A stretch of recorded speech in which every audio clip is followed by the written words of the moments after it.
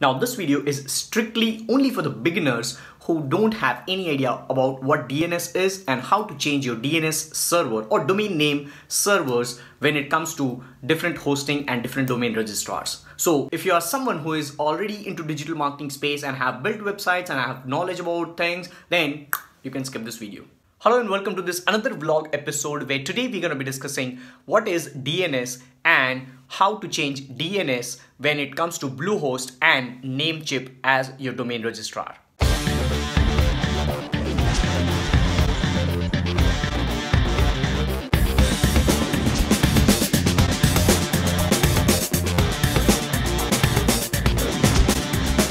So let's understand this concept of DNS. Uh, DNS is domain name server or at times it's also known as domain name system. Now what it means, let's just relate that in layman terms. Let's say uh, you're opening up a restaurant business. Now when you open up a restaurant business in traditional market, what do you do? You have a name of the hotel or your restaurant. So let's say this is ABC chain of hotels. Second, over here, what you need is to run this hotel name or your restaurant basically, you need a space in the market. So you need a shop. Now that space in the market is the second thing which is required to run a restaurant. So now you have two things. One is you have the name of the business and second is you have the space to run the name of the business or the actual business. Now, if they are at two different places, how will they connect with each other? So let's say you are sitting at your home and you are just thinking in your mind that yes, this is the name of my restaurant, this is the name of my hotel. But now, uh, when you are opening up the shop, when you have the space in the market, you don't put up any banner or you don't put up any billboard saying that this shop represents ABC chain of hotels. If that doesn't happen, how will people come to know that this space is a restaurant which is ABC chain of hotels or restaurant or blah blah blah. So you actually have to merge those two things. So in layman terms, what you do in traditional field, you just put up a banner, you put up a billboard saying that this space is ABC chain of hotels. Now let's relate this concept with digital marketing or online space or digital space. So in digital space, let's relate the first requirement which is the name of the business as whatever you have with www all right so let's say if we talk about my website which is digitalpratik.com so if we go www.digitalpratik.com so digitalpratik.com is something which i have as the name of the business which is basically a website. All right so that website name should be first taken or purchased or registered. So in online space the sites where you register your domain is domain registrar. Those sites are known as domain registrars now there are plenty of domain registrars. There are Go, there is GoDaddy, Bluehost, uh, Namecheap, then BigRock, blah blah blah XYZ. All right, there are plenty of uh, domain registrars. Out of which GoDaddy, Namecheap are the top ones. All right, I, I, I'm just saying that top ones, but they are not the best ones. Everybody has their own pricing. Everybody has their own database and things like that. I prefer GoDaddy or Namecheap most of the times. Now the example which I am be showing in this video would be of Namecheap. I have done that earlier for GoDaddy, but today we would be specifically talking about the domain registrar which is Namecheap. So first requirement in digital space is you have to register your domain name at Namecheap or any XYZ registrar. So we did this. Now second is to run this website or to run this business name which is let's say digitalpratik.com you need a space online. We are talking about digital space, so obviously you'll need some space on internet. Now that space is referred to as hosting. Hosting space on internet. Now, just as you had domain registrars for registering your domain, you have hosting service providers for hosting space. So what you have to do is you have to contact or you have to basically go to their websites like Bluehost, GoDaddy, once again all those Bluehost and blah blah blah things like that. So once again you have all those websites but over here in this video we would be talking about Bluehost specifically. So now you go to Bluehost, you purchase. Now if you don't have any idea about how to purchase domain, how to purchase hosting, you have to just click on the link below this video in the description. I'll put up the link. There are step-by-step -step tutorials for buying a domain and registering your hosting as well.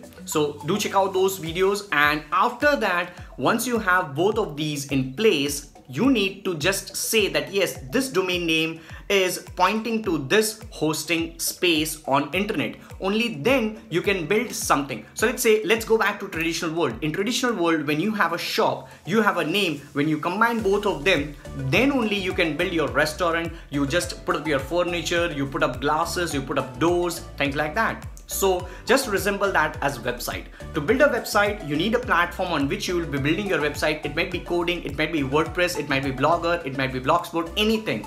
But then whatever platform you are using, you have to just have that platform on some specific common point where your domain and your hosting should be pointing. Now that particular common point is domain name server. So you have to point both of these parties which is hosting and domain name to the same location or name server that is DNS. So how do you change these two?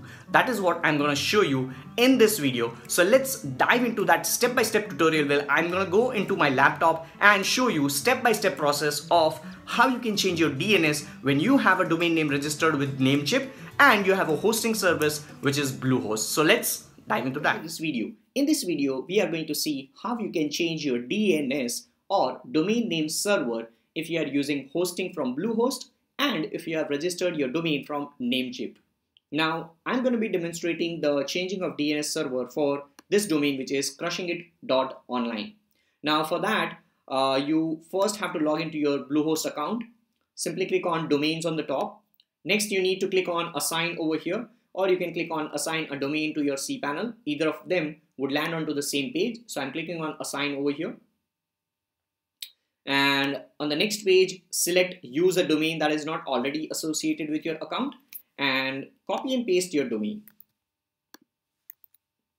And we'll start verifying the domain. Now I have already done this process. That's the reason why it says ownership verified. But for you if you have not done it it would say the domain name servers uh, which you have to point should be this ones. So you have to simply copy ns1.bluehost.com over here and come back to your Namecheap account where it says crushingit.online. Obviously for your domain, wherever your domain is, click on manage with respect to that domain. And on the next screen, search for name servers, which is right over here. And you probably would have Namecheap basic DNS. So tap on this and select custom DNS and paste your values, which is ns1.bluehost.com in the first field and copy the second one which is ns2.bluehost.com and paste it over here in the second field. Once you are done, you have to click on this small tick mark which says yes and which says save. Once it would be done, it would say DNS server update may take up to 48 hours to take effect. And once it is taking effect, you would also be seeing ownership verified. Once it is done, go down and click on assign this domain. And that's it. On the next page, you would be able to see a list of domains if you have multiple domains, but the one which you just assigned would see crushingit.online. It would say not found because it would be uh, like taking a little bit of time once it is done it would have the date and that's it that's how you change your DNS server for your domain so I hope this video was helpful and if you haven't done any kind of DNS thing, this is definitely helping you. And I have another video wherein I'll be showing you what is actually domain name server with a whiteboard tutorial. Do check out that video as well. Probably I'll put up the link somewhere over here in the top right corner or in the description below this video. And I look forward to seeing you in the next one. Till then, take care, bye-bye. And as always, guys, stay awesome, God bless. And if you haven't, then subscribe.